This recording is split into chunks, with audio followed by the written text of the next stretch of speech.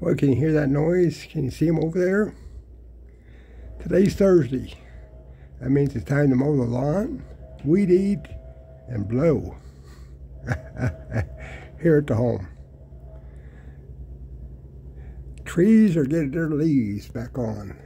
Those other guys. Anyway, it's Thursday. BFD, huh? Enjoy your day.